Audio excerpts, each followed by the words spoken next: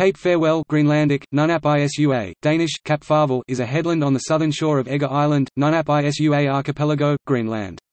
As the southernmost point of the country, it is one of the important landmarks of Greenland.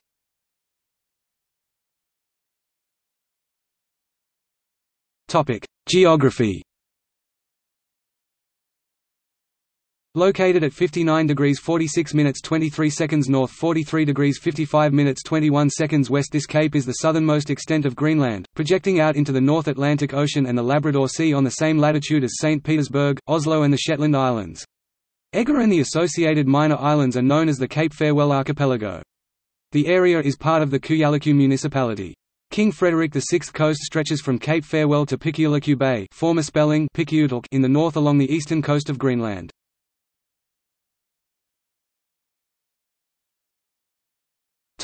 See also. List of countries by southernmost point